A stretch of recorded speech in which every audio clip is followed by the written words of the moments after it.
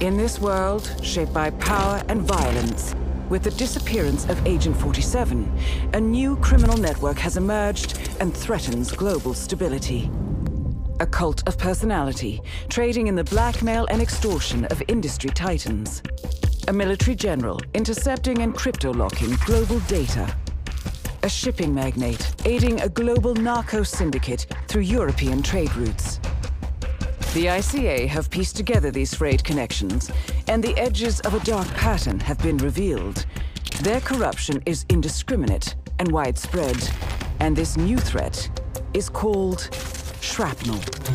The ICA have authorized the activation of Initiative 426, the Shadows. Individually, you possess the precision and the skills necessary to succeed. However, the only way we will overcome this threat is by working together. By striking when our targets least suspect it. By remaining untraceable and making every shot count. You will dismantle this criminal organization, piece by piece. You will strike from the shadows. Disappear into the darkness, and they will never know what hit them.